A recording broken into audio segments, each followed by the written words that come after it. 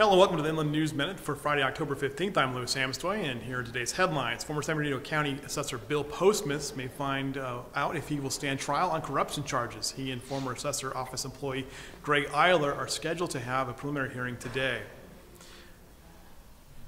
We're also keeping an eye on the weather. The La Nina weather system is strengthening, and it's meaning California is in for another dry winter. Find out more what that means in the region's water supply and your water bills in tomorrow's Press Enterprise.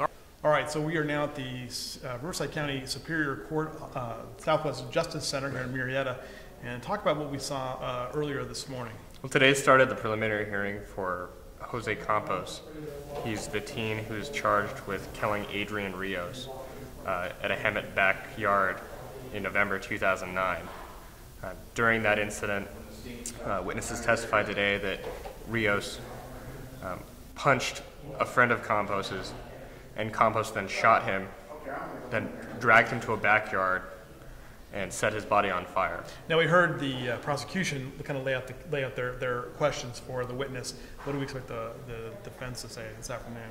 Uh, the defense in the case has has disputed Campos's role, saying that there may be other witnesses at the scene who, who dispute whether he actually shot Rios or uh, what his total involvement in the case was.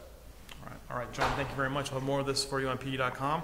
Uh, we'll complete, complete coverage as John covers this trial here from the Southwest uh, Riverside County Justice Center in Murrieta.